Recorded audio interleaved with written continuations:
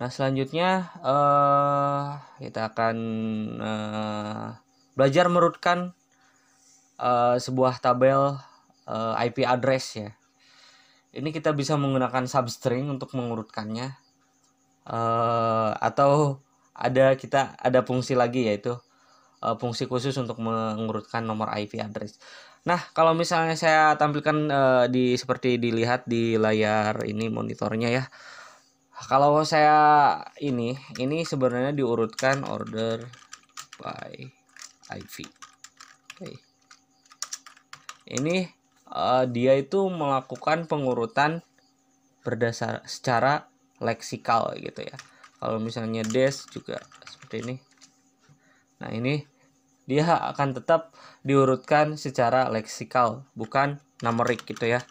Sedangkan kan nomor IV ini adalah uh, numerik gitu. Nah, misalnya kalau teman-teman ingin ini ya, ingin ini apa?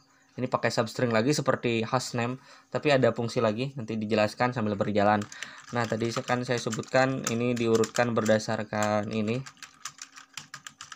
Berdasarkan apa? Uh, leksikal, leksikal itu diurutkan berdasarkan diperlakukan sebagai string.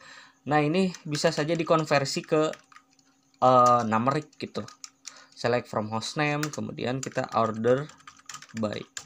Ya, bentar dulu ya. Ini tampilkan dulu. Eh maaf bukan hostname IP address ya.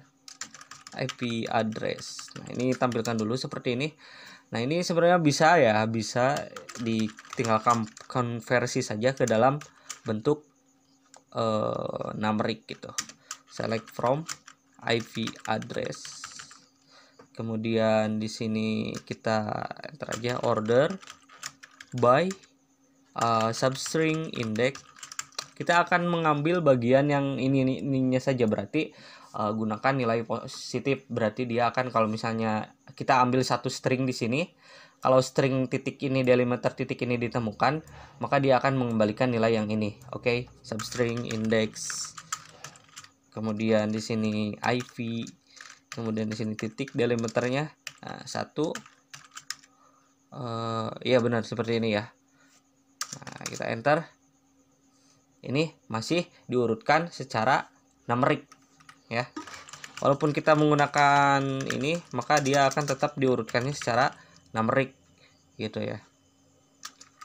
Nah makanya di sini kita tinggal tambahkan konversi. Ini sudah dijelaskan di sebelumnya bagaimana uh, uh, di sebelumnya di video-video sebelumnya bagaimana mengkonversi nilai leksikal yang mengandung numerik ini uh, menjadi nilai numerik gitu ya nah, seperti ini. Maka dia akan diurutkan menggunakan apa uh, secara numerik bukan leksikal. Kalau tadi kan diurutkan secara leksikal diperlukan sebagai string. Nah ini dikonversi ke dalam numerik kita tambahkan saja plus 0 di dalam order by substringnya gitu.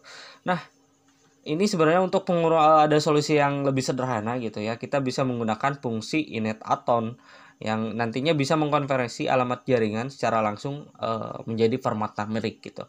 Saya contohkan sangat gampang sekali. Kita tambahkan saja di sini fungsi init atom. Nah, jadi nggak usah mikir-mikir repot-repot pakai substring karena udah ada fungsinya init atom. Uh, kemudian tulis saja di sini iv. Oke. Okay thread jadi gitu ya.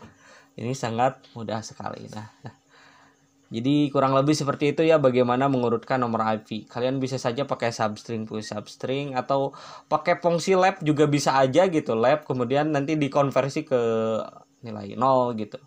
Fungsi pakai fungsi lab juga. Nah kok ini lab bisa ya lab lab 2 eh, ini bisa ya. Ini atur-atur aja gitu nah dua. Nggak bisa ya order by lab. Oh order by lab nggak bisa. Dia padahal harusnya mengambil dua ya dari sisi kiri. Karena memang ada ada nomor ada tiga ya di sini. Karena beda-beda ya. Uh, apa? Eh uh, ininya beda-beda. Nggak bisa pakai lab ya. Ya walaupun ini bagai lab harus kita ambil tiga tapi yang lebih relevan itu pakai substring index karena ada delimiter yang ini ya ada delimiternya karena nilai di awalnya itu beda-beda gitu stringnya Nah, jadi seperti itu ya teman-teman pokoknya untuk mengurutkan nomor IP. Tapi yang jelas ini udah ada fungsi init aton untuk mengurutkan nomor alamat jaringan.